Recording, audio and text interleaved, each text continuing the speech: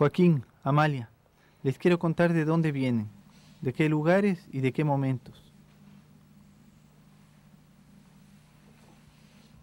Les voy a hablar de cosas que les parecerán muy alejadas de su vida diaria. Un Mercedes blindado que estalla en Asunción, una cárcel de lujo en Londres, una mujer que se queda con sus hijas en La Habana, una bala en la espalda de un hombre, una huelga en un ingenio azucarero.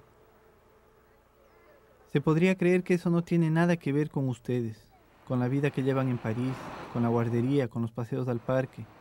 Y sin embargo sí, sí tiene que ver con ustedes, con nosotros, porque son las cosas que han ido tejiendo esta realidad, de tal modo que yo esté filmando cosas del presente para hablarles de un pasado que ya no está, pero que no debería perderse.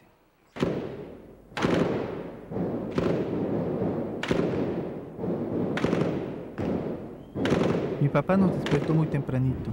Vengan a oír las noticias. Hay golpe de Estado. Era un intento de golpe de extrema derecha. El gobierno prohibió que se hable desde el primero de septiembre y la gente hablaba del 32 de agosto. El golpe fracasó. Los golpistas tuvieron que salir del país y se fueron a refugiar en Chile, en el Chile de Pinochet. Hubo insurrección en Managua, hubo insurrección en Monimbó. El frente se tomó este lío un par de veces, o una vez o dos veces. Es decir, ya hay una, lucha insurreccional en, Nicaragua, ¿no? Con brotes esporádicos en distintas partes del, país.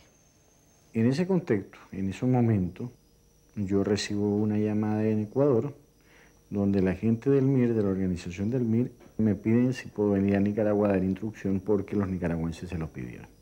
El embajador prepara sus maletas para regresar a Quito y a última hora surge un imprevisto. Su mujer decide quedarse en La Habana, ayudar a la revolución, trabajar para ella. Esa señora, Joaquín Yamalia, era su bisabuela. Por eso su abuela Pilar vive en La Habana, y ahí conoce un día a un joven oficial de la Fuerza Aérea, de origen chileno o francés, la cosa no le queda clara esa primera vez que lo ve. Nacido en Aubenas, Francia, en 1944, hijo de un resistente francés muerto al final de la guerra y de una chilena. Víctor tiene 15 años cuando llega a Cuba, 20 cuando conoce a Pilar, 22 cuando nace Francisca, la mamá de ustedes.